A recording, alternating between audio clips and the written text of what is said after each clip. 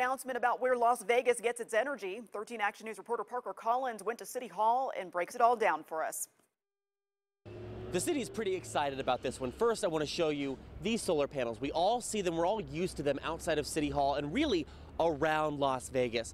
This is part of the announcement today. They are saying all of the energy used by the city is completely matched by renewable energy sources. We're talking solar, geothermal. They're saying this is a huge deal, and they're only able to announce it now because Boulder Solar One, a solar energy plant southeast of the city, finally came online. We can brag that the city, this city of Las Vegas, is one of the few cities in the entire world that can boast using all of its power from a green source. The city's been working with NV Energy for about a year on this to make this announcement. They're saying they've also been working to cut down on the energy that the city consumes in that time.